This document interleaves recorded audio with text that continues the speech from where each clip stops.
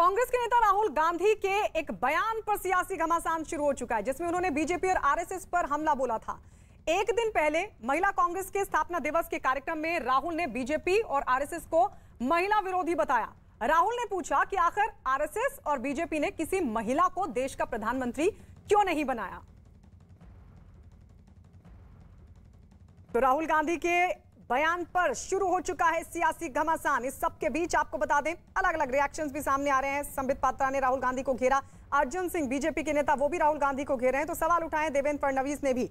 आपको यह भी बता दें कि एक दिन पहले महिला कांग्रेस का स्थापना दिवस कार्यक्रम था राहुल गांधी ने बीजेपी और आरएसएस की महिला, को महिला विरोधी करार दिया। बीजेपी के लोग कहते हैं कि वो हिंदू पार्टी कि बीजेपी के आरएसएस के लोग हिंदू पार्टी, वो अपने आप को हिंदू पार्टी कहते हैं। और पूरे देश में लक्ष्मी और दुर्गा पर आक्रमण करते हैं। जहाँ ये जाते हैं, कहीं लक्ष्मी को मारते हैं, कहीं दुर्गा को मारते हैं। और इस वक्त हमारे साथ राकेश सिन्हा फ़ोन लाइन पर जुड़ गए हैं। राकेश सिन्हा जी राहुल गांधी के इस बयान पर आपका फ़र्स्ट रिएक्शन क्या होगा? देखिए राहुल गांधी वैचारिक रूप से निरक्षर व्यक्ति हैं। उनको यह पता ही नहीं है कि हिंदू होने का तात्पर्य क्या होता है। वो देश को बताएँ। राम सेतु जो एक हमारा धरोहर है जो भगवान राम के इतिहास से हिंदू इतिहास से जुड़ा हो उसको तोड़ना क्या हिंदू होना है?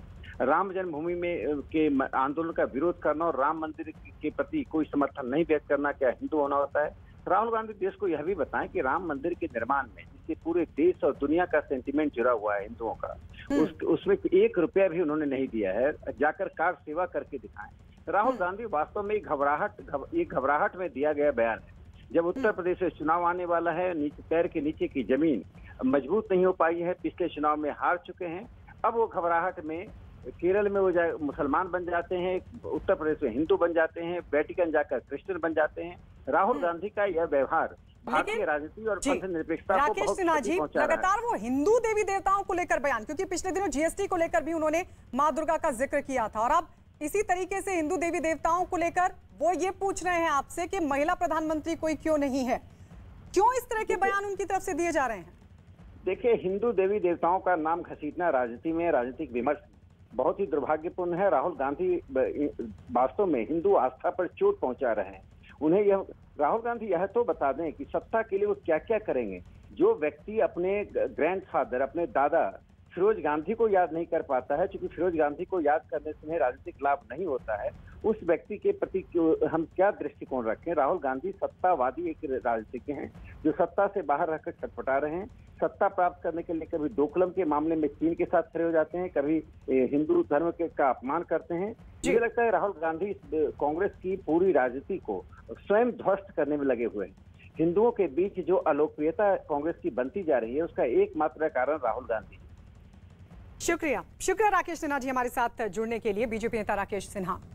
जो हमारे साथ जुड़े थे, लेकिन इस सबके बीच आपको बता दें, बीजेपी के और नेताओं की तरफ़ से भी इसको लेकर रिएक्शन सामने आ रहा है। बीजेपी नेता संबित पात्रा ने राहुल के बयान पर क्या कहा? आइए सुनवाते हैं आपको। राहुल गांधी ने कहा कि आपकी पार्टी हिंदुओं की पार्टी है, लेकिन कहीं आप दुर्गा को मारते हो, कहीं लक्ष्मी को मारती हो, और सीधे तौर पर हिंदुओं की, के नाम पर आप दलाली करते हो। देखिए, राहुल गांधी जी ने जिस प्रकार के शब्दों का और जिन वाक्यों का प्रयोग किया है, कहीं ना कहीं हिंदू धर्म का घोर अपमान किया है। ये पहली बार नहीं किया है। राहुल गांधी जी ने पहले भी भगवान राम के अस्तित्व पर सवाल खड़ा किया था। पहले भी राहुल गांधी जी ने कहा था, जो लोग मंदिर जाते हैं, वो तो लड़कियाँ छेड़ते हैं।